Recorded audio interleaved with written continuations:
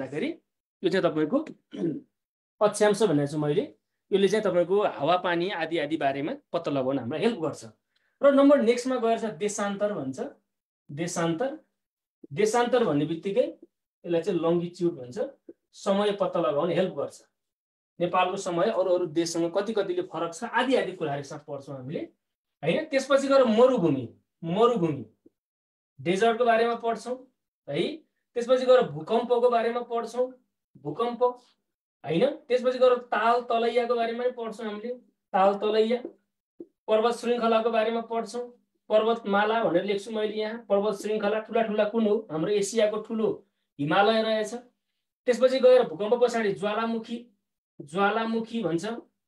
ल भूकम्प पछाडि ज्वालामुखी। अब हावापानी हावापानी अब आदि आदि साथी हो। कति धेरै कुरा छ हेरोस् त्यसमा। त्यस पछाडि गएर हामीले चाहिँ नदीका कुराहरू गर्छौँ नदी नालाका कुराहरू है आदि हेरीलाई मैले इटिसी लेखेँ यस्ता धेरै कुराहरू यहाँ आउँछन् हो हामीले पढ्नुपर्ने विषय भनेको यस्तै यस्तै छ है साथी। हो यही विषयमै रहेर हामी केन्द्रबिन्दुमा रहेर हामी थप छलफल गर्दै जानेछौँ। र साथीहरूलाई मैले यदि के पढ्छौँ त हामीले यो विषयमा भन्ने त्यस्तो लागेको छ भने हामीले पढ्ने विषय भनेको चाहिँ यही नै हो। मैले हजुरहरूलाई यो चाहिँ जाहेर गरेँ। ल मैले थोरै अलिकति टेक्निकली मिलाउँदैछु। अब साथीहरू यो पछाडि गएर म तपाईँहरू स्टार्ट गरेँ। है त? अब आजको चाहिँ मैले विश्वको भूगोलको सबभन्दा सुरुमा परिचय खण्ड परिचय खण्डबाट सुरु गर्ने। के हो त भूगोल? भूगोलले के भन्न खोजेको हो? यो बारेमा कुरा गर्दैछु। भूगोल भन्छ यो बारेमा चर्चा गर्दैछु। है त मैले? ल भूगोल। भूगोल। भू भनेको पृथ्वी हो साथी हो। भूगोल भू भन्ने बित्तिकै पृथ्वी। अथवा जमिन भन्छ नि। हो यही हो भूगोल। अब तर यो कुरा चाहिँ हामीले जाँचमा सोध्दैन। भू भने के हो? आदि सोध्दैन हामीले। तर कुन भाषाबाट आएको भन्न सक्छ? यो भूगोल शब्द। सजिलो छ। मैले अलिकति छिटो लेख्छु केही आत्तिनु पर्दैन। भूगोल शब्द ग्रिक भाषाको। ग्रिक भाषा। ग्रिक भन्ने बित्तिकै युनानी भनेर पनि सम्झिने। कहिले काहीँ ग्रिक नदिकन युनानी पनि दिन सक्छ। भूगोल शब्द ग्रिक भाषाको। हेर्नुहोस् त। यसलाई इङ्ग्लिसमा के भन्छ फेरि भूगोललाई? जोग्राफी पनि भन्छ नि। जिओ जिओ जिआरए पिएचवाई भन्छ जोग्राफी। यसलाई हेर्नुहोस् भूगोल शब्द ग्रिक भाषाको जिओ जिओ जिआरए एफआइएन जोग्राफियन जोग्राफियन। भूगोल शब्द ग्रिक अथवा युनानी भाषाको जोग्राफियन शब्दबाट उत्पत्ति भएको। शब्दबाट उत्पत्ति भएको भन्छ। अब के हो त अर्थ? यसको अर्थ description D S C R I P T I O N description of earth भन्छ हेर्नुहोस् कस्तो सजिलो रहेछ? भने के रहेछ त पृथ्वीको वर्णन गर्नु भने पो रहेछ त। पृथ्वीको वर्णन गर्नु यसको अर्थ त्यो पो रहेछ भनेको भूगोल भने के त हामीले? पृथ्वीको बारेमा पढ्ने। यो भूगोलको अर्थ रहेछ पृथ्वीको बारेमा पढ्ने। नेपाली भाषामा भूगोल अङ्ग्रेजी भाषामा जोग्राफी ग्रिक अथवा युनानी भाषामा जोग्राफियन यो जोग्राफियन शब्दबाट उत्पत्ति भएको अर्थको के रहेछ त? पृथ्वीको वर्णन गर्नु। डिस्क्रिप्सन अफ अर्थ अब कसले सबभन्दा पहिला यो शब्द प्रयोग गरे त? है त यो भूगोल शब्दको प्रयोगकर्ता। भूगोल शब्दको सर्वप्रथम सर्वप्रथम प्रयोगकर्ता। कसले प्रयोग गरे त यो? अब हामी सबैलाई थाहा छ किनकि यो त प्राइमरी कुरा हो।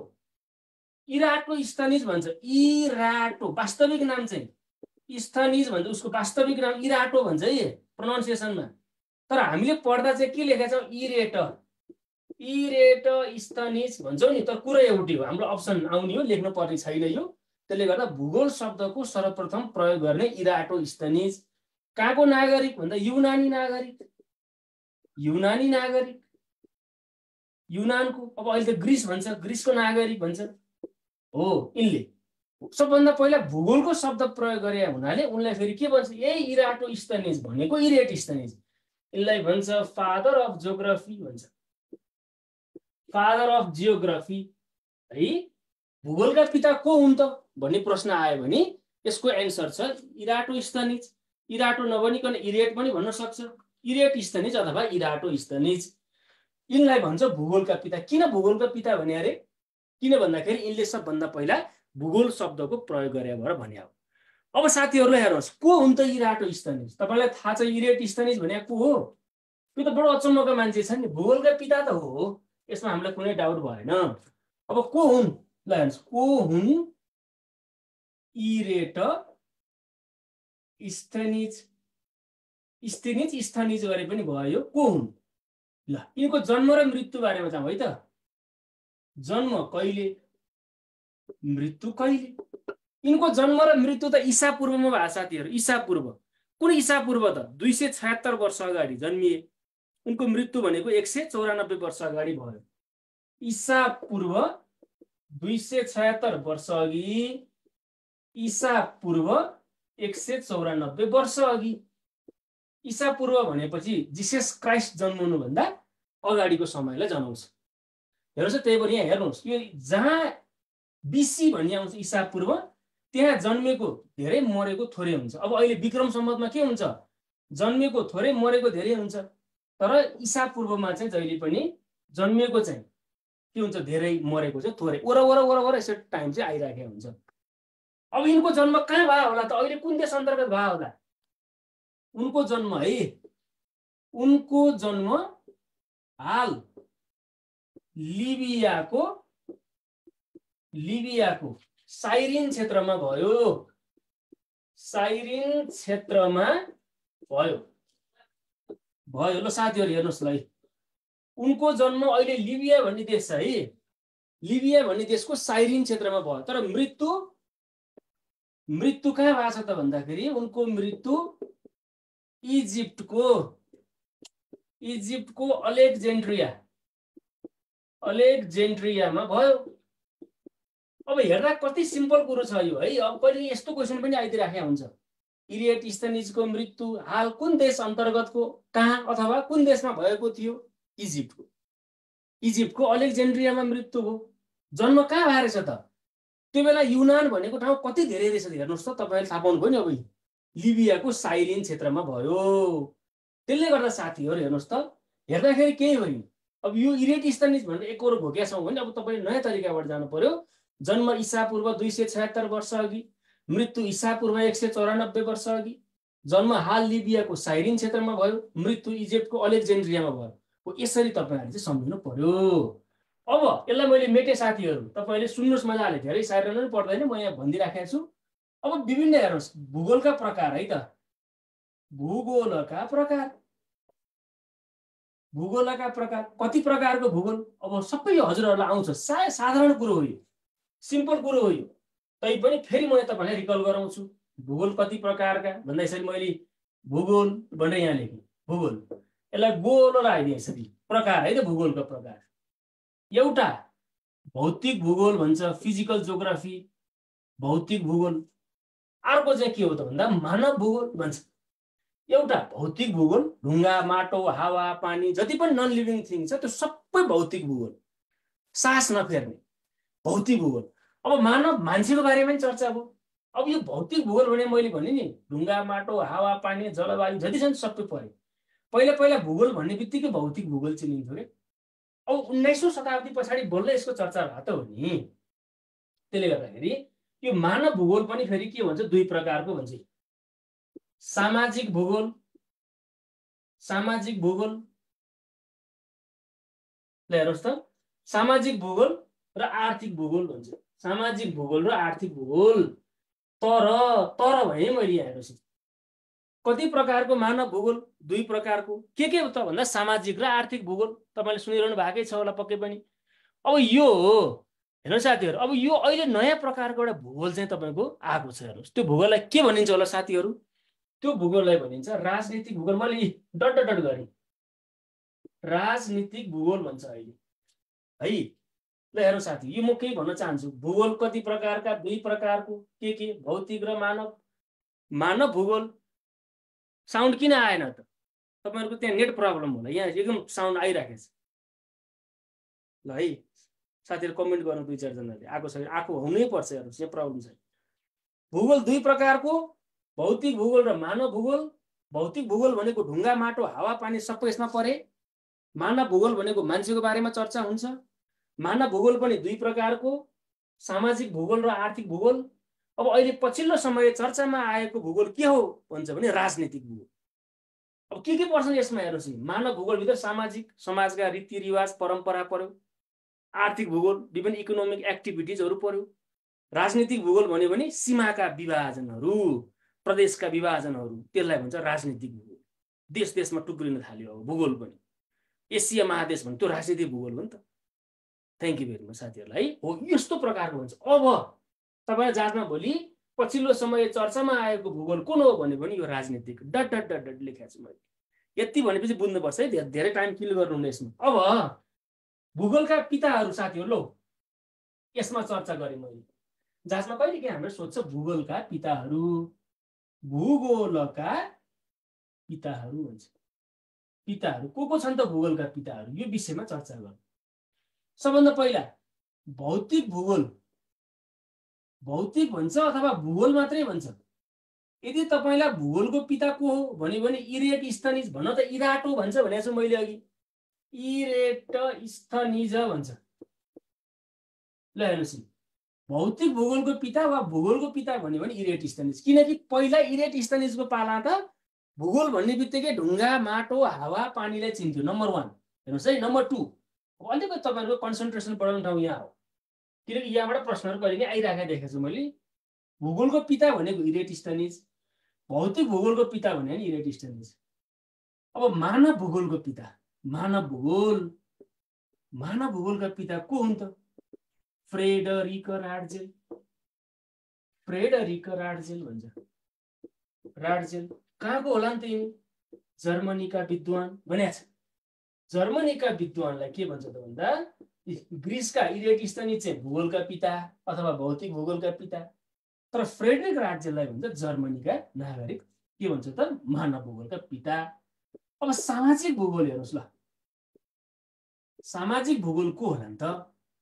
सामाजिक भूगोल भन्ने बित्तिकै एलिसी रिक्लुज भन्छ। एलिसी रिक्लुज ल साथीहरू मैले यहाँ तपाईँहरू सुनिरहनु भएको छ। एलिसी रिक्लुज कुन देशका? फ्रान्सका नागरिक फ्रान्स। ल हेर्नुहोस् त है सामाजिक भूगोल भन्ने बित्तिकै एलिसी रिक्लुज फ्रान्स। नम्बर चार। सामाजिक पछाडि गएर अब आर्थिक भूगोलका पिता। आर्थिक भूगोल को होला नि त? Paul P A U L Paul R O B I N Robin K R U G Krugman Krugman भन्छ। युएसए अमेरिकी नागरिक। हेर्नुहोस् है साथी भूगोल कति धेरै आखिर शब्द एउटा भूगोल छ। पिता कति धेरै हेर्नु नि। भौतिक भूगोल भनिएको छ युएट स्टेनिज मानव भूगोल फ्रेडरिक रार्जेल सामाजिक भूगोल एलिसी रिक्लुज आर्थिक भूगोल पल रोबिन क्रुकम्यान र हुँदै आएर अहिले चाहिँ के भन्छ त भन्दाखेरि तपाईँको आधुनिक भूगोलका पिता। आधुनिक भूगोलका पिता को हुन् भन्ने लेखा देख्छु कहिले यो त कार्ल रिटर हुन्। Carl Ritter. कार्ल रिटर भन्छ। जर्मनी कार्ल मार्क्स कार शब्द सम्झिने बित्तिकै जर्मनीतिर गइहाल्यो। अब राजनीतिक भूगोलको चाहिँ धेरै चर्चा गरेर चाहिँ मैले लेख्न सकिने छ किनकि धेरै मान्छेको नाम दिएछ लौ साथीहरू यो चाहिँ भूगोलका पिताहरू है हजुरहरूलाई मैले। भूगोलका पिता इरेटिस्टनिज मानव भूगोलका पिता फ्रेडरिक रार्जेल सामाजिक भूगोलका पिता एलिसी रिक्लुज फ्रान्सका। आर्थिक भूगोलका पिता पोल रोबिन क्रुगम्यान आधुनिक भूगोलका पिता कार्ल रिटर कुन देशका नागरिक भन्दा जर्मनीका नागरिक। ल यति भनेपछि त अब तपाईँहरूलाई त्यति समस्या हुन्न। है यति त्यति भने यति समस्या हुन्न। अब यो भूगोलको बारेमा हेर्नुहोस् त अलिकति यो कहाँबाट आयो त यो विभिन्न भूगोलका कुराहरू भन्ने पनि तपाईँको मनमा आउला प्रश्न। म लेख्न चाहन्छु भूगोल सम्बन्धी नयाँ खोज। भूगोल सम्बन्धी नयाँ खोज अठारौँ शताब्दीमा भयो। अठारौँ शताब्दीमा कहिले भन्न सक्ला? शताब्दीमा भयो तर मानव भूगोलको चर्चा।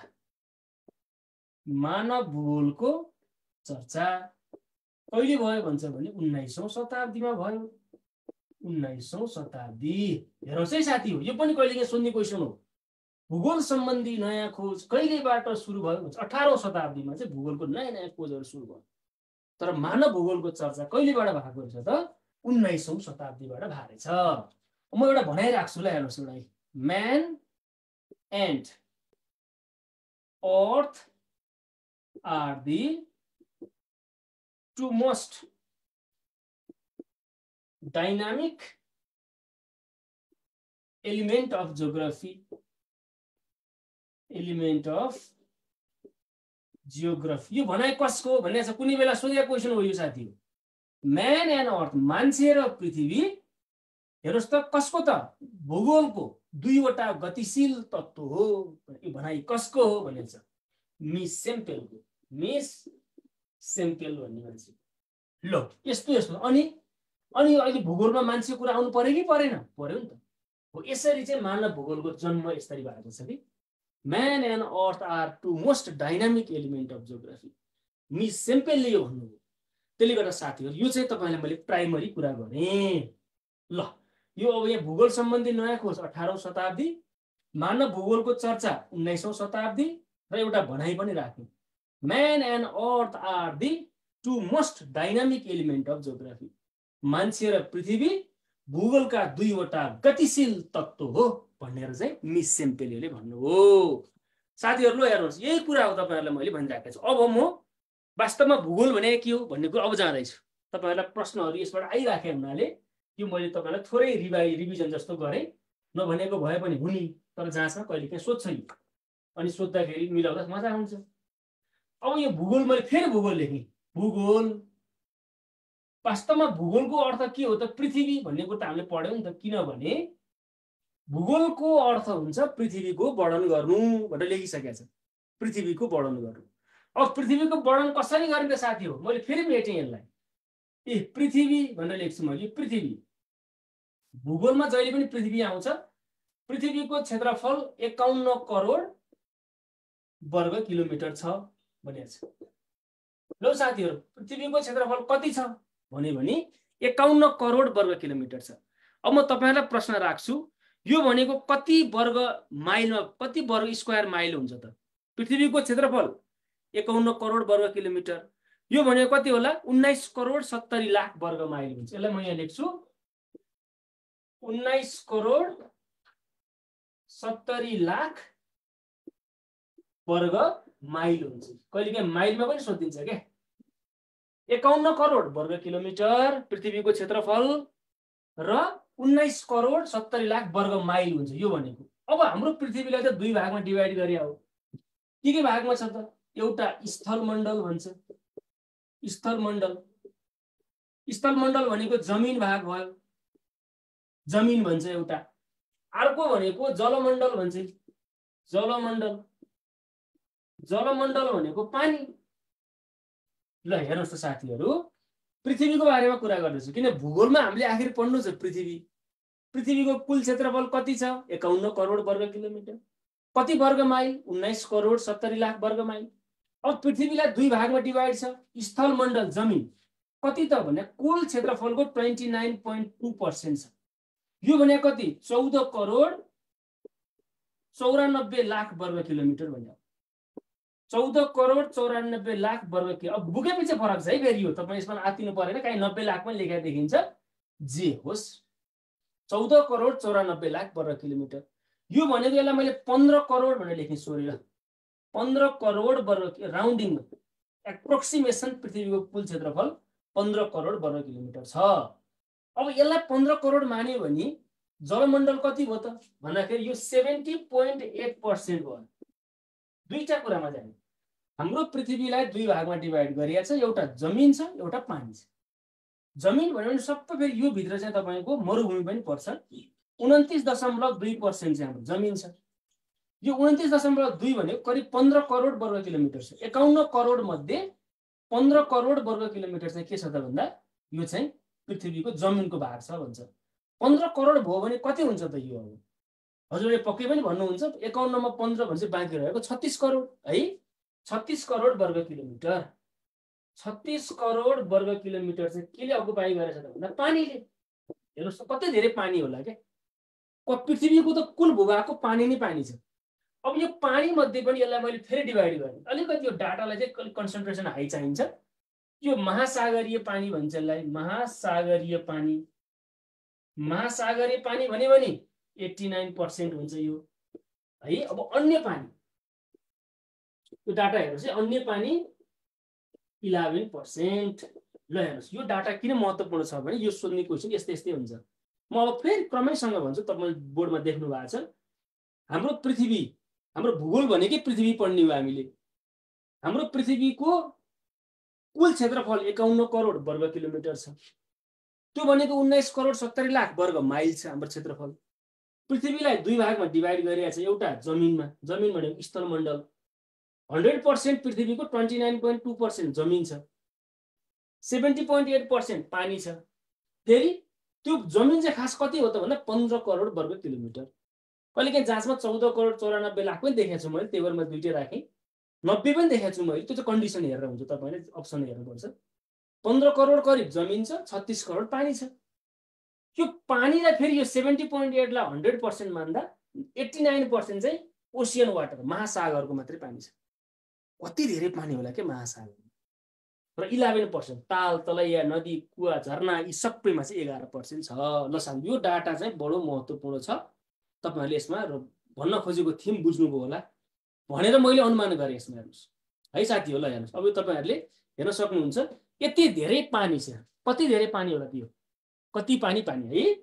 त्यसले गर्दाखेरिमा चाहिँ यो यत्रो धेरै पानी हुँदाखेरि यो विश्वमा विश्वमा भएको कुल पानी मध्ये कुल पानी मध्ये विश्वमा भएको कुल पानी मध्ये फ्रेस वाटर कति छ त? हेर्दा एकदम सफा देखिने। फ्रेस वाटर भने करिब थ्री पर्सेन्ट छ। हेर्नुहोस् है मित्रहरू विश्वमा यति धेरै पानी छ यति धेरै पानी मध्ये देख्दाखेरि फ्रेस वाटर थ्री पर्सेन्ट छ। तर पिउन योग्य पिउनको लागि चाहिँ कति पर्सेन्ट छ त? भन्दा वान पोइन्ट टू पर्सेन्ट। कति थोरै पानी छ पिउन योग्य? डिरेक्टली पिउनु। सफा पानी पिउनुको लागि योग्य पानी संसारमा वान पोइन्ट टू पर्सेन्ट छ। यो पृथ्वीमा हेर्दाखेरि एकदम सफा कञ्चन पानी चाहिँ कति छ अरे भन्दाखेरि थ्री पर्सेन्ट देखिन्छ तर सबै सफा देख्दा पिउन मिल्दैन। त्यो मध्ये पिउन योग्य पानी चाहिँ वान पोइन्ट टू पर्सेन्ट छ। यति थोरै पानी पिउन योग्य छ साथीहरू। त्यसले गर्दा अब पृथ्वीमा पानीको हाहाकार त भइराखेकै छ। ल अब मैले यति धेरै कुरा गरेँ। हजुरहरूले पक्कै पनि यो परिचयात्मक खण्ड र प्रकारकोमा चाहिँ तपाईँहरूले केही कुरा बुझ्नुभयो यो डाटाहरू सोधिराखेका प्रश्नहरू छ यसमा आइरहन्छ। अब म जान खोजेँ महादेश। कन्टिनेन्टतिर लाग्यो है साथी कन्टिनेन्ट महादेश यानि कि कन्टिनेन्ट भन्छ। कन्टिनेन्ट अब के हो त महादेश भनेको? पृथ्वीको कुल भूभाग मध्ये ठुला ठुला जमिनले ढाकेका भागहरू त्यसलाई चाहिँ महादेश भन्छ। पृथ्वीको कुल भूभाग मध्ये पानी बाहेक फेरि भन्छु पृथ्वीको कुल भूभाग मध्ये पानी बाहेक जमिनले ढाकेका ठुला ठुला भूक्षेत्र ठुला ठुला भूक्षेत्र जमिनी भागहरू। त्यसलाई महादेश भन्छ। महादेश सातवटा छ। हामीलाई थाहा छ महादेश सातवटा भन्ने कुरा। त्यो महादेश हेर्नुहोस् त अब एउटा चाहिँ क्षेत्रफलको आधारमा एउटा जनसङ्ख्याको आधारमा। एउटा क्षेत्रफलको आधारमा एउटा जनसङ्ख्याको आधारमा। हाम्रो डिभाइड त्यसरी गर्छौँ। महादेशको नाम यसरी राखिएको छ कि इङ्ग्लिसबाट। त्यसको अगाडिको जुन अक्षरबाट सुरु भयो लास्टमा पनि त्यही अक्षरबाट टुङ्गिन्छ। फेरि भन्छु नाम जे अक्षरबाट राखेको छ इङ्ग्लिसमा अन्तिममा त्यही अक्षरबाट टुङ्गिन्छ। अब म तपाईँलाई प्रवेश गरेँ है के के छ यसको चाहिँ नामहरू? म सबभन्दा पहिला महादेश भन्ने बित्तिकै पृथ्वीको पृथ्वीको कुल भूभाग मध्ये पानी बाहेक पानी बाहेक जमिनले ओगटेको खुला भूक्षेत्र हो यसलाई भन्छ महादेश पृथ्वीको कुल भूभागमा त्यो पानी बाहेकै फेरि पानी हुनु भएन। जमिनले ढाकेका ठुला ठुला भूक्षेत्र। सातवटा महादेश। सातवटा महादेश। ल अब क्षेत्रफलको आधारमा क्षेत्रफलको आधारमा ठुलोबाट सानो ठुलोबाट सानो। अब हजुरहरूले यसलाई ध्यान दिनुहोस् केही गाह्रो छैन हामीले स्कुल लाइफमै पढ्या हो। सबभन्दा ठुलो एसिया भन्ने छ एसिया। सबभन्दा ठुलो हेर अगाडि जे अक्षरबाट सुरु भयो त्यही। सेकेन्डमा A F R I C Africa. थर्डमा north America. उत्तर अमेरिका तेस्रोमा चौथोमा साउथ अमेरिका साउथ अमेरिका पाँचौँ कुन ठुलो होला? एएनटिएआरसिटिआइसी एन्टार्टिका हेर्नुहोस्। मान्छे बस्दैन तर क्षेत्रफलको आधारमा पाँचौँ ठुलो कुन हो भने एन्टार्क्टिका छैटौँ ठुलो युरोप इयुआरओपी युरोप। सातौँ ठुलो एयुएसटिआरएलआई अस्ट्रेलिया। यो अस्ट्रेलिया नभनिकन यसलाई ओसिनिया पनि भन्छ है मैले ब्राकेटमा ओसिइएन ओसिइएन ओसिइएन एएन ओसिनिया भन्छ यसलाई। अस्ट्रेलिया नभने अब अहिले पनि अस्ट्रेलिया नभनिकन ओसिनिया नै नामबाट चिनिन्छ यसलाई। साथीहरू हेर्न हेर्नुहोस्। म फेरि तपाईँलाई भन्छु यो महादेशको नाम कस्तो इन्ट्रेस्टिङ छ? एसियाको एबाट सुरु भएर एमै टुङ्गिया छ। अफ्रिकाको पनि एबाट सुरु भएर एमै टुङ्गिया छ। नर्थ र साउथलाई छोड्ने हो भने अमेरिका पनि एबाट सुरु भएर एमै टुङ्गिया छ दुइटै। एन्टार्टिका पनि एबाट सुरु भएर एमै टुङ्गिया छ। युरोप पनि ईबाट सुरु भएर इमै टुङ्गिया छ हेर्नुहोस्। ए त होइन तर ईबाट सुरु भएर इमै जेबाट सुरु हो त्यहीबाट टुङ्गिया छ। नाम अस्ट्रेलिया पनि एबाट सुरु भएर एमै टुङ्गिया छ। अब कति प्रतिशत यसको क्षेत्रफलको? कुल अब एकाउन्न करोड वर्ग किलोमिटरलाई hundred percent मान्दा twenty nine point nine two percent चाहिँ के हुन्छ? एसिया हुन्छ। Twenty nine point nine two Asia कति भन्छ भने twenty nine point nine two twenty twenty भन्छ अफ्रिका। ल ट्वेन्टी ट्वेन्टी क्रिकेट खेल्न अफ्रिका जाने। अब यो तिनवटाको चाहिँ सोह्र एघार आठ भनेर सम्झिनुहोस्। यसरी होइन? हेर्नु त सोह्र एघार आठ है? तर यसको पछाडि nine zero nine zero nine zero. तिनवटाको यसरी देखिन्छ। अब तपाईँलाई कसरी आएको छ यो क्वेसन एकचोटि भने म यहाँ भन्न चाहन्छु। ध्यान दिनुहोस्। अन्टार्टिकाले पृथ्वीको जमिनको कति प्रतिशत भाग ओगर्छ भनेर एट नाइन टेन इलेभेन भनेर आएको थियो क्या कुनै बेलामा। म यहाँ फेरि तपाईँलाई प्रश्न राखेँ। तपाईँले बुझ्नुहोस् है यसको अर्थ चाहिँ कहिले यस्तै क्वेसन आइदिन्छ। ल यहाँ म राख्छु। एएनटिएआरसिटिआइसी अन्टार्टिकाले कति प्रतिशत भाग ओगर्छ भनेर यसरी क्वेसन आएको थियो। अब अप्सनमा एमा एट नाइन टेन इलेभेन। अब के एन्सर हुन्छ त? एट पोइन्ट नाइन जिरो खोज्नु भयो त भएन नि। के एन्सर हुन्छ साथीहरू यहाँ? अन्टार्टिकाले कति प्रतिशत भाग गर्छ? मैले यहाँ त एट पोइन्ट नाइन जिरो लेखेँ। यसको नियरेस्ट नम्बर खोज्नु पऱ्यो यसको एन्सर त नाइन पर्सेन्ट हुन्छ यो त करिब। यो पर्सेन्टमा पर्सेन्टमा। हेर्नुहोस् त त्यसले गर्दाखेरि हजुरहरूले हो हो थ्याङ्क यू भेरी मच यसरी तपाईँ ठ्याक्क बुझिदिने प्रयास गर्नु पऱ्यो यसलाई चाहिँ यसरी क्वेसनहरू आउँछ। Antarctica eight point nine zero हो यसरी तपाईँ जानु पर्यो हुन्छ यो। अब यहाँ अस्ट्रेलिया यो युरोप युरोप भन्ने बित्तिकै लकी नम्बर सेभेन सेभेन र अस्ट्रेलिया भन्ने बित्तिकै five point three percent five point three percent अब हेर्नुहोस् त फेरि त्यो रिपिज गरौँ त। एसिया भनेको flip flop twenty nine point ठ्याक्कै उल्टिया छ टु नाइन नाइन टू उल्टी twenty nine point nine two Africa twenty twenty cricket भने नर्थ साउथ र एन्टार्टिकाको चाहिँ अमेरिकाको सोह्र एघार आठसम्म पछाडि नौ zero Europe lucky number seven.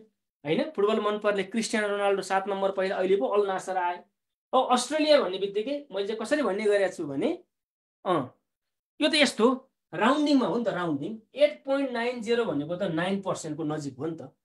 Nine percent. त्यो कारणले कहिले अप्सन यसरी दिन्छ क्या अन्टार्टिकाले कति प्रतिशत भाग गर्छ? अब हामीले त एट पोइन्ट नाइन जिरो भनेर घोक्यौँ अब यहाँ यसो हेरौँ न।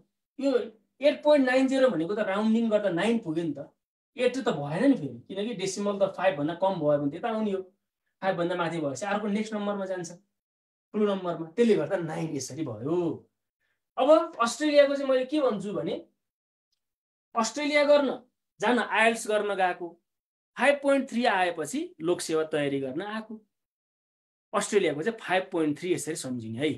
अस्ट्रेलियाको कति पर्सेन्ट भन्यो भने फाइभ पोइन्ट थ्री कति पर्सेन्ट फाइभ पोइन्ट अस्ट्रेलियालाई अर्को के नामले चिनिन्छ? ओसिनिया पनि भन्छ। ल साथीहरू यो चाहिँ मैले तपाईँलाई क्षेत्रफलको बारेमा कुरा गरेँ। अब जनसङ्ख्याको आधारमा जनसङ्ख्याको आधारमा जनसङ्ख्याको आधारमा ठुलोदेखि सानो जनसङ्ख्याको आधारमा ठुलोदेखि सानो। साथीहरू भन्नुहोस् त के हो जनसङ्ख्या? नम्बर ए वानमा एसिया नै छ। Asia number two Africa. ल। सबभन्दा धेरै जनसङ्ख्या भएको देश त अहिले भारतले चाइनालाई टप्यो। होइन? तर जनसङ्ख्या सबभन्दा धेरै कुन महादेशमा छ भन्यो भने अहिले पनि एसियामै सबभन्दा धेरै जनसङ्ख्या छ। भारत चिन पाकिस्तान बङ्गलादेश सबै यहीँ छन्। धेरै जनसङ्ख्या भएका। नम्बर थ्रीमा युरोप। ल हेर यो कस्तो इन्ट्रेस्टिङ छ। अब अघि युरोप के थियो त?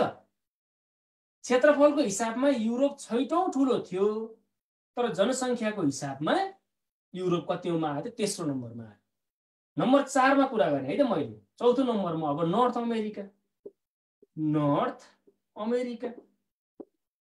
पाँचौँ नम्बरमा चाहिँ साउथ अमेरिका दक्षिण अमेरिका आयो। छैटौँ नम्बरमा कुन त अस्ट्रेलिया। जनसङ्ख्या थोरै छ। र सातौँ नम्बरमा मान्छे कोही पनि बस्दैनन् एन्टार्क्टिका। मान्छे त्यहाँ नभए होइन रिसर्च गर्न छन्। अन्टार्क्टिका मान्छे नभए होइन। तर के हो त भन्दाखेरि त्यहाँ चाहिँ कस कुनै पनि देश छैन नायकता दिँदैन। त्यही भएर जनसङ्ख्या जेरो भनेर भन्छौँ हामीले। अब कति त fifty nine point four percent अहिले एसियाको जनसङ्ख्या फिफ्टी नाइन पोइन्ट पछिल्लो ओल्डोमिटर देखाउँछ। यो मैले भन्ने पनि होइन। ओल्डोमिटर त्यो तपाईँले डाटा हेर्न सक्नुहुन्छ। ओल्ड पपुलेसन भनेर। होइन? तर Africa seventeen point six percent ल हेर्नुहोस्। कति धेरै डिफ्रेन्ट हेर्नुहोस् त। एसियाबाट एकैचोटि करिब करिब साठी पर्सेन्ट जनसङ्ख्या एसियामा छ। है अठार पर्सेन्ट सेभेन्टिन पोइन्ट सिक्स केमा आयो त अफ्रिकामा आयो। अब मैले युरोप भने नि अघि कति छ युरोपको भन्दा? सेभेन पोइन्ट फाइभ पर्सेन्ट युरोपको छ। त्यसै गरी फाइभ पोइन्ट फाइभ पर्सेन्ट फेरि के को छ? नर्थ अमेरिकाको। ग्रेजुअली डिक्रिज हुँदै गएको छ। अब थोरै थोरै थोरै जनसङ्ख्या। दक्षिण अमेरिकाको जनसङ्ख्या हामीले हेऱ्यौँ भने कति होला त? है यसमा। यदि हामीले चाहिँ तपाईँको युरोपको करिब करिब सरी युरोपको चाहिँ नाइन पोइन्ट यो मैले के गर्छु nine point four nine point four percent युरोपको जनसङ्ख्या छ nine point four North America seven point five यहाँ चाहिँ थोरै मैले गरेछु र five point five percent five point five यहाँ हुन्छ। अस्ट्रेलियाको एकदम थोरै जनसङ्ख्या साथीहरू जेरो पोइन्ट सिक्स पर्सेन्ट अब यो त जेरो पर्सेन्ट भनौँ न मान्छे यस्तो हुँदैन। त्यसले गर्दा हेरौँ त एसियाको जनसङ्ख्या fifty nine point four percent अफ्रिकाको सेभेन्टिन पोइन्ट सिक्स युरोपको नाइन पोइन्ट फोर नर्थ अमेरिकाको सेभेन पोइन्ट फाइभ साउथ अमेरिकाको फाइभ पोइन्ट फाइभ अस्ट्रेलियाको जेरो पोइन्ट सिक्स अन्टार्क्टिकामा छैन। जनसङ्ख्याको आधारमा पनि हामीले के गरौँ त भन्दाखेरि यसलाई चाहिँ सम्झिने प्रयास गऱ्यौँ। यो सबभन्दा ठुलो धेरै जनसङ्ख्या भएको एसिया दोस्रो धेरै जनसङ्ख्या भएको अफ्रिका तेस्रो युरोप चौथो उत्तर अमेरिका नर्थ अमेरिका पाँचौँ दक्षिण अमेरिका छैटौँ अस्ट्रेलिया जसलाई मैले ओसिनिया पनि भन्छ है साथी हो भनेर पटक पटक भनेको छु। सातौँ अन्टार्क्टिका अन्टार्क्टिकामा मान्छे करिब हजारजना चाहिँ रिसर्च गर्न बसेका भन्छन् तर वास्तवमा त्यहाँ देश छैन। देश नभए हुनाले चाहिँ तपाईँको त्यहाँ उनीहरूको चाहिँ त्यो यति जनसङ्ख्या त्यो भनेर काउन्ट गरेर मिलेन। ल यो चाहिँ मैले कन्टिनेन्टहरू एउटा चाहिँ क्षेत्रफलको आधारमा एउटा के को आधारमा? जनसङ्ख्याको आधारमा राखेँ। अब म तपाईँहरूलाई यो सिमानाबाट पनि प्रश्नहरू आदेश है कहिले काहीँ सिमाना। तपाईँहरूको विभिन्न खाले हुन्छ होइन। तपाईँको जो प्रश्नहरूमा चाहिँ यो पाँचै सातैवटा महादेशका सिमानाहरूको बारेमा चर्चा गरौँ है त। सिमानाहरू सिमानाहरू। सिमाना भनेको बााउन्ड्री पूर्व पश्चिम उत्तर दक्षिणमा के छ? एसिया। म पहिले एसियाबाट सुरु गर्छु एसिया। एसिया भन्ने बित्तिकै यसको चाहिँ फर्मुला छ ला सरी आप्रसुपा भन्छ यसको फर्मुला होइन? सबभन्दा पहिला एसिया म टक्क सातवटा फर्मुला तपाईँलाई भन्नेछु। यो सातवटा महादेशको यसको चाहिँ बााउन्ड्रीहरू के हुन्छ भनेर। है त? यसको चाहिँ तपाईँको यो एसिया अफ्रिका लगायतको सातवटा महादेशको चाहिँ के के छ त पूर्वमा के छ है? पश्चिममा के छ यसको चाहिँ यो अक्षरबाट हुन्छ। एसिया भन्ने बित्तिकै प्रयुसुही भन्ने एउटा फर्मुला छ। प्रयुसुही। प्र भनेको यसको पूर्वमा हेर है ध्यान दिनुहोस् यहाँ पूर्वमा। प्रशान्त महासागर प्रशान्त महासागर पूर्वमा फर्मुला प्रयुसुही भनेर सम्झिने। यु भनेको पश्चिममा के छ त युरोप। ल पश्चिममा युरोप छ सु भनेको उत्तरमा के छ त? सुमेरु महासागर। सुमेरु महासागर महासागर र हि भनेको दक्षिणमा के छ त? हिन्द महासागर। दक्षिणमा हिन्द महासागर। र साथीहरू यो अलिकति बानी पार्न चाहिँ टाइम लाग्छ तर बानी परेपछि कुरो बुझिहाल्छ। भनेको एसियाको फर्मुला फेरि लेखेँ मैले। के रहेछ त? प्रयुसुही भन्ने फर्मुला छ। प्रयुसुही एसियाको फर्मुला प्र भनेको के रहेछ? पूर्वमा प्रशान्त महासागर पश्चिममा युरोप उत्तरमा सुमेरु महासागर दक्षिणमा हिन्द महासागर। यसरी चारवटा। साथीलाई म फेरि भन्दैछु यहाँ लेखेको छु मैले त्यो प्रत्येक अक्षरले चाहिँ पूर्व पश्चिम उत्तर दक्षिण जनाउँछ। प्र भनेको पूर्वमा प्रशान्त महासागर यु भनेको पश्चिममा युरोप सु भनेको सुमेरु महासागर उत्तरमा हि भनेको हिन्द महासागर दक्षिणमा। यसरी तपाईँलाई जाँचमा यदि प्रश्नमा एसियाको दक्षिणमा के पर्दछ भनेर आयो भने हिन्द महासागर। केबाट थाहा पाएको? फर्मुलाबाट। के छ फर्मुला प्रयुसुही भन्ने फर्मुला छ। एसिया भन्ने बित्तिकै प्रयुसुही सम्झिने। प्र भनेको प्रशान्त महासागर यु भनेको युरोप सु भनेको सुमेरु महासागर हि भनेको हिन्द महासागर। यति फर्मुला है प्रयुसुही। मैले मेटेँ अब एसियालाई। तपाईँहरूको जहिले पनि नाम लेख्दा पूर्व पश्चिम उत्तर दक्षिणको हुन्छ है भनेर अब अन्डरस्ट्यान्डिङ गर्नुभयो तपाईँले। एसियाको फर्मुला के रहेछ? प्रयुसुही। प्रशान्त महासागर पूर्वमा पश्चिममा युरोप उत्तरमा सुमेरु महासागर र दक्षिणमा हिन्द महासागर। ल।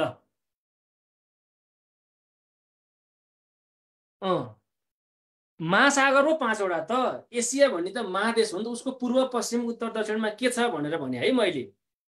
महासागर चाहिँ पाँचवटै हो त्यो पढाउन बाँकी छ मैले। मैले यो लेखेको फर्मुला चाहिँ के हो त भन्दा एसियाको पूर्व पश्चिम उत्तर दक्षिणमा के छ भनेर लेखेको है। ल साथीहरू मैले एसियाको प्र मेटेँ मैले यो अब शून्य मजाले प्रयुसुही। अब Europe sorry Africa. A F R I C अफ्रिकाको फर्मुला के होला? ल हेर्नुहोस् पूर्व पश्चिम उत्तर दक्षिण। चारवटा चाहिँ फर्मुला लेख्छु मैले। ला आ भुकु भन्छ फर्मुला ला आ भुकु भनेको पूर्वमा के होला यी? लाल सागर। लाल सागर भन्छ पूर्वमा रेड सी भनेको इङ्ग्लिसमा। रेड सी किन लाल देखिएको रातो? रेड एल्गी पाइन्छ। अफ्रिकाको पूर्वमा के पाइन्छ भने लाल सागर। ला। पश्चिममा है। पश्चिम। आ भनेको आन्ध्र महासागर। आन्ध्र महासागर। आन्ध्र भन्ने बित्तिकै एटलान्टिक टाइटानिक जहाज दुर्घटना भएको महासागर हो यो। उत्तरमा भूमध्य सागर। के हो यो भनेको? मेरिडियन सी भन्छ। एमइआरआइडिएम मेरिडियन सी। टर्कीसँग जोडिएको छ यो। दक्षिणमा। ल हेर्नुहोस् के छ कुबाट? कुमेरु महासागर। कुमेरु महासागर। एन्टार्टिक ओसियन भन्छ। एनएनटिएआर सिटिआइसी अब हेर्नुहोस् त एकचोटि साथीहरू। अफ्रिकाको पूर्व पश्चिम उत्तर दक्षिणमा के पर्छ भन्ने प्रश्न आयो भने के सम्झिने अफ्रिकालाई? ला आ भुकु। अघि हामीले एसियालाई प्रयुसुही भन्यौँ। अब अफ्रिकालाई ला भुकु भन्छ। पूर्वमा लाल सागर पश्चिममा आन्ध्र महासागर उत्तरमा भूमध्य सागर मेरिडियन सी दक्षिणमा कुमेरु सागर। ला भुकु। त्यसले गर्दा है म लास्टमा फेरि फर्मुला लेखिदिन्छु एकचोटि। अब अफ्रिकाको ला भुकु भने पूर्वमा लाल सागर पश्चिममा आन्ध्र महासागर उत्तरमा भूमध्य सागर दक्षिणमा कुमेरु सागर महासागर। यति चारवटा हुन्छ।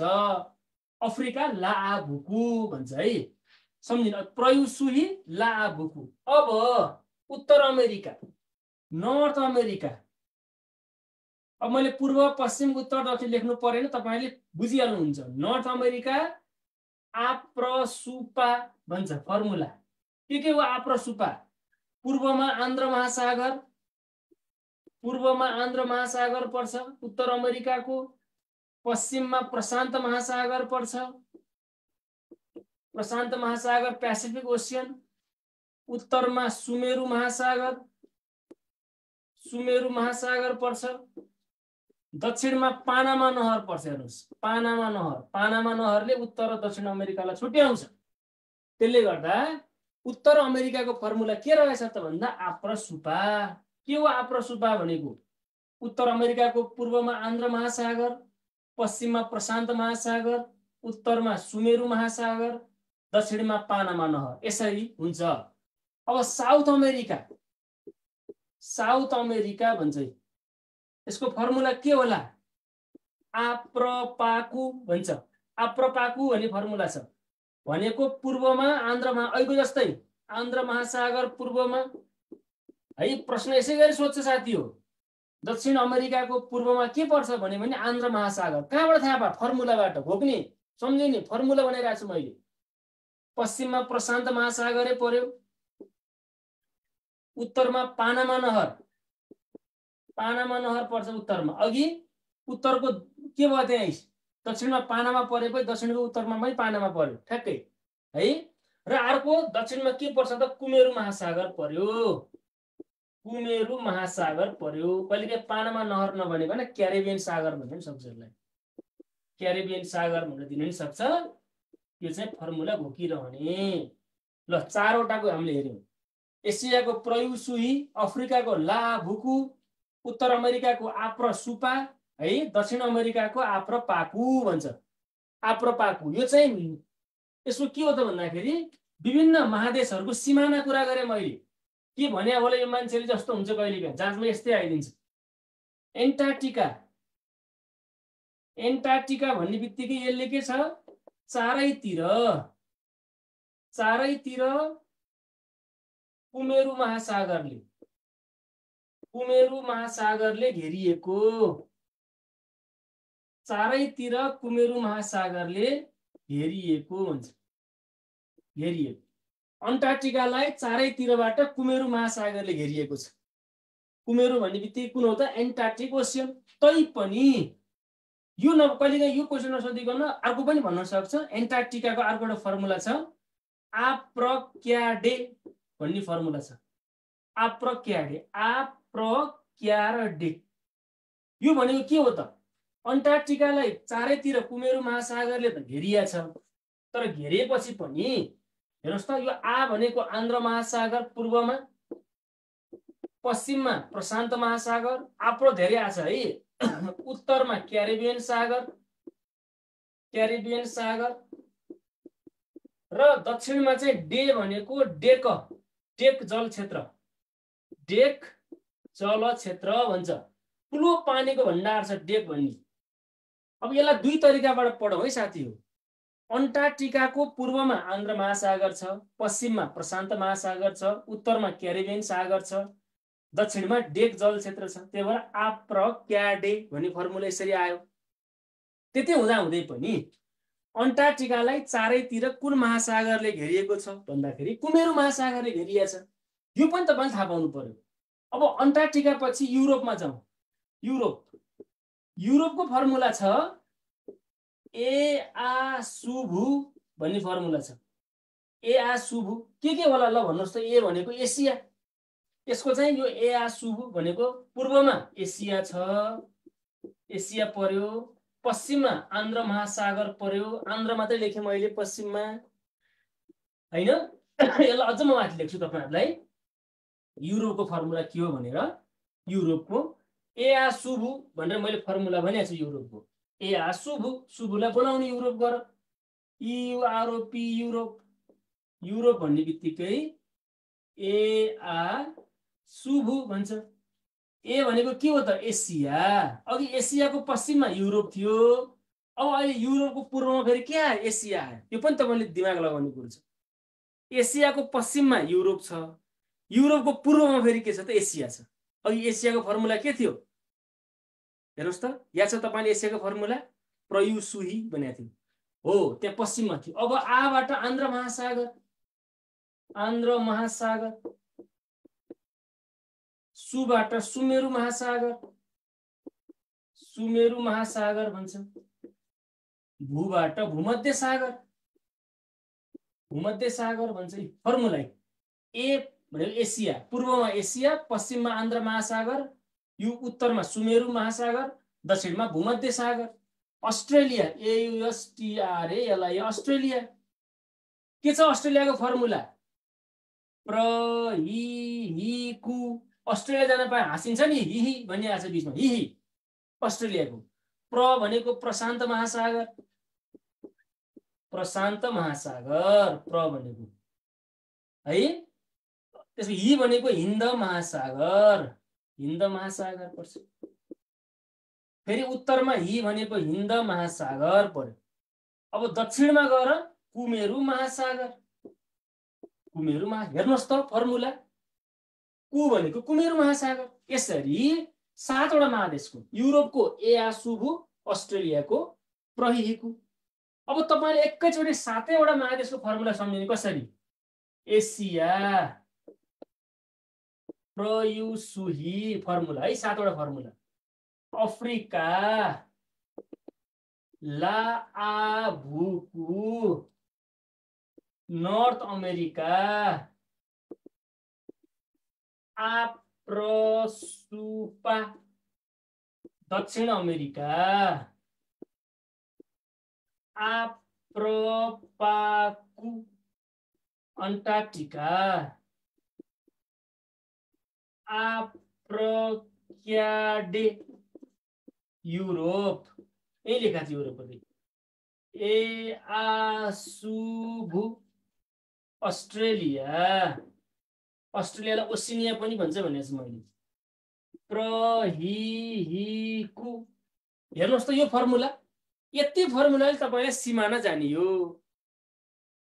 एसियाको प्रशान्त महासागर पूर्व युरोप पश्चिम सुमेरु महासागर उत्तर हिन्द महासागर दक्षिण अफ्रिकाको लाल सागर पूर्व आन्ध्र महासागर पश्चिम भूमध्य सागर उत्तर कुमेरु महासागर दक्षिण उत्तर अमेरिकाको आन्ध्र सबै अब आ आउँछ। आन्ध्र महासागर पूर्व प्रशान्त महासागर पश्चिम सुमेरु महासागर उत्तर पानामा नहर दक्षिण दक्षिण अमेरिका आन्ध्र महासागर पूर्व प्रशान्त महासागर पश्चिम पानामा नहर उत्तर कुमेरु महासागर दक्षिण एन्टार्क्टिका। आन्ध्र महासागर पूर्व प्रशान्त महासागर पश्चिम क्यारिबियन महासागर उत्तर डेक जल क्षेत्र दक्षिण युरोप एसिया पूर्व आन्ध्र महासागर पश्चिम सुमेरु महासागर उत्तर भूमध्य सागर दक्षिण अस्ट्रेलिया प्रशान्त महासागर पूर्व हिन्द महासागर पश्चिम हिन्द महासागर उत्तर कुमेरु महासागर दक्षिण। हेर्नुहोस् त सातवटा फर्मुलाले सिमाना तुरुन्तै आयो सम्झिने कसरी सात फर्मुला? प्रयुसुही एसिया ला भुकु अफ्रिका आप्रसुपा उत्तर अमेरिका आप्र क्याडे आप्रपाकु दक्षिण अमेरिका आप्रक्याडे अन्टार्क्टिका एआसुबु युरोप प्रहिकु अस्ट्रेलिया। यो सुन्दाखेरि अहिले चाहिँ हामीलाई ओहो कस्तो धेरै यो गाह्रो तर गाह्रो होइन यो। खालि तपाईँलाई पूर्व पश्चिम उत्तर दक्षिणमा के के नाम हो मैले सबै लेखाए पनि छु। यो यति सात फर्मुलाले तपाईँलाई लाइफभरि काम लाग्छ। जुनसुकै सेवा समूहमा पनि यसको यो यसको चाहिँ पूर्वमा के छ पश्चिममा के छ भनेर प्रश्नहरू आइरहेछ। ल। ह्याङ त त्यो तपाईँको नेट स्लो भयो होला है यहाँ त छैन। ओके साथी हो यो चाहिँ मैले तपाईँहरूलाई के गरेँ भन्दाखेरि सातवटा महादेशको चाहिँ सिमानाको बारेमा भने। ल अब म थप विशेषताहरू सात महादेशका थप विशेषता। घाँसे मैदानबाट जान्छु है त घाँसे मैदान।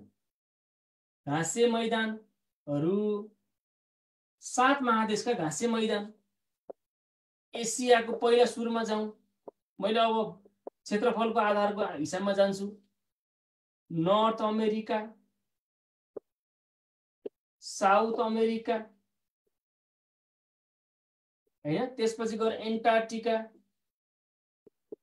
एन्टार्क्टिका त्यसपछि गएर युरोप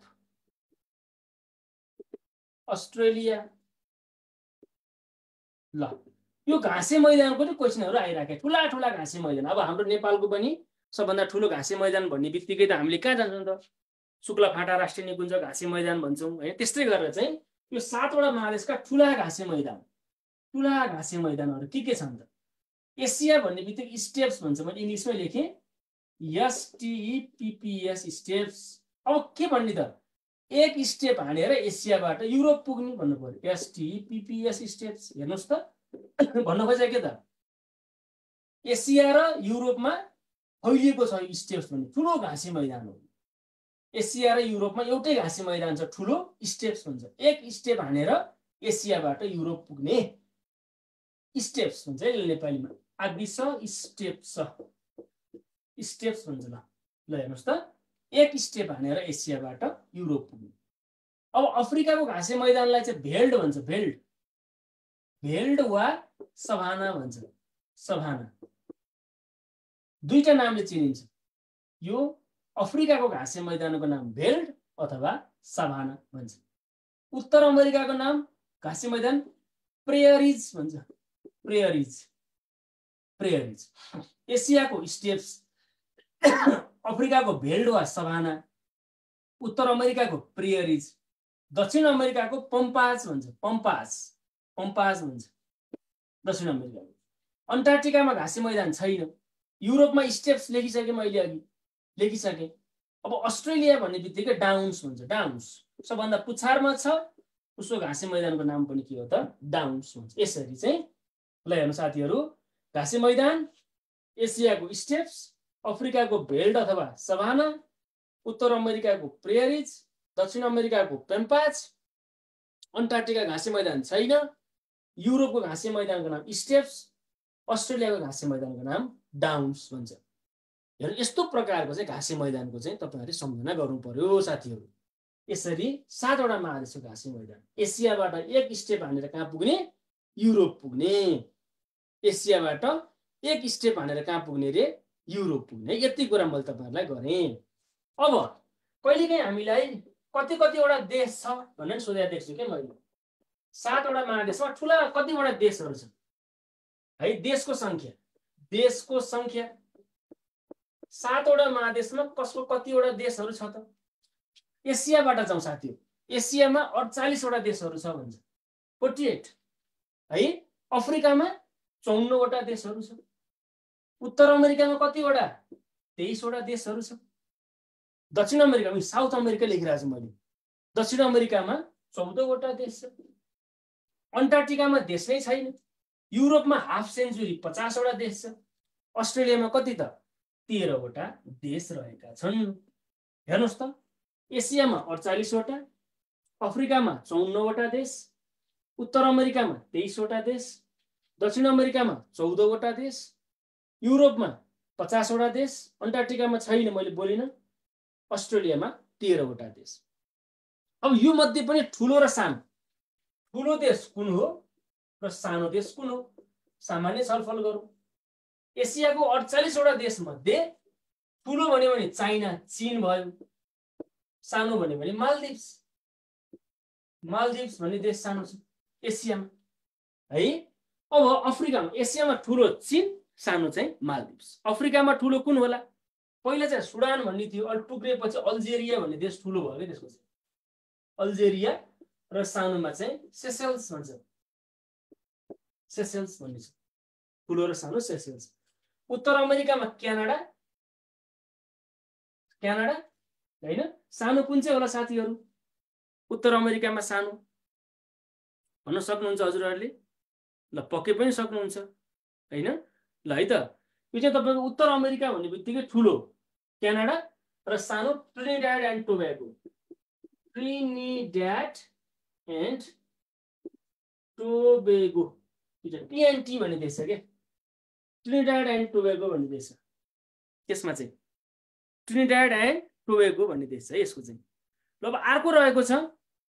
सर यो क्यानाडाको सेन्ट किट्स एन्ड नेभिस यसो दक्षिणमा छ क्यारे यो। सेन्ट किट्स एन्ड नेभिस भन्छ। Sorry Saint Kitts and Nevis भन्छ है। त्यसलाई नेभिस ट्रिन्डाड लेखेँ मैले। सेन्ट किट्स एन्ड नेभिस भन्छ। दक्षिण अमेरिकाको ब्राजिल सबभन्दा ठुलो र अहिलेको नाम ट्रिनिड्याड ट्रिनिड्याड एन्ड टोबेगो सानो टोबेगो। टिएनटी भन्छ यसलाई। टिएनटी भन्छ है नाम चाहिँ। यो सेन्ट किट्स एन्ड नेभिस भन्छ। उसको चाहिँ उत्तर अमेरिका दक्षिणको चाहिँ ट्रिनिड्याड एन्ड टोबेगो। अन्टार्टिकामा देश छैन केही लेख्नु परेन। युरोपमा सबभन्दा ठुलो रसिया भयो। रसिया। र सबभन्दा सानो भ्याटिकन सिटी। भ्याटिकन सिटी भन्छ सानो हामीलाई थाहा छँदैछ संसार सबभन्दा सानो देश। अस्ट्रेलियाको सबभन्दा ठुलो अस्ट्रेलिया नै भयो। अस्ट्रेलिया र सबभन्दा सानो नाउरु भन्छ। नाउरु। ल हेरौँ साथीहरू मैले भूपरिवेशित होइन है फेरि। समग्रमा ठुलो र सानो देश भने हो। यो एसियामा अडचालिसवटा देशमध्ये सबभन्दा ठुलो चाइना र सबभन्दा सानो मालदिप्स। त्यसपछि गएर अफ्रिकाको चौन्नवटा देशमध्ये ठुलो अल्जेरिया र सानो सेसेल्स। उत्तर अमेरिकाको तेइसवटा देशमध्ये ठुलो क्यानाडा र सानो सेन्ट किट्स एन्ड नेभिस। दक्षिण अमेरिकाको चौधवटा देशमध्ये ठुलो ब्राजिल सानो ट्रिनिड्याड एन्ड टोबेगो। अन्टार्टिकामा कुनै पनि देश छैनन्। युरोपको पचासवटा राष्ट्रहरूमध्ये सबभन्दा ठुलो रसिया सबभन्दा सानो भ्याटिकन सिटी। र अस्ट्रेलियामा चाहिँ सबभन्दा तेह्रवटा देशमध्ये सबभन्दा ठुलो अस्ट्रेलिया सबभन्दा सानो नाउरु भन्छ। भनेपछि हामीले आजको एक घन्टाको समयमा के पढौँ त? भूगोल। त्यसको चाहिँ परिचय दिएँ भूगोलका प्रकारहरू कुरा गरेँ हाम्रो भूगोलको अर्थ भनेको पृथ्वीकै रहेछ। पृथ्वीको क्षेत्रफल कति छ? पानी कति? जमिन कति? कुरा गरेँ त्योभित्र हामीले महादेशका कुराहरू गऱ्यौँ सातवटा क्षेत्रफलको आधारमा जनसङ्ख्याको आधारमा महादेश के छ? त्यो कुरा गऱ्यौँ हामीले। त्यस पछाडि गएर मैले महादेशका सिमानाहरू कुरा गरेँ। र महादेशका केही विशेषताहरू होइन घाँसे मैदान के छ? कति देशहरू छन्? ठुला साना देश के हो? यी कुराहरू गरेँ। लौ त साथीहरू आजलाई मैले यति गरेँ। बाँकी रहेका हाम्रो खण्ड भोलि शनिबार भए तापनि भोलि हाम्रो क्लास हुन्छ। होइन हाम्रो अलिकति भोलि चाहिँ लगभग दुई घन्टा क्लासहरू हुन्छ होला। तपाईँलाई खबर आउनेछ। र त्यसरी चाहिँ हामी छलफल गर्दै जानेछौँ। आजलाई मैले यति नै गरेँ। सबै साथीहरूलाई नमस्कार। Good night everybody.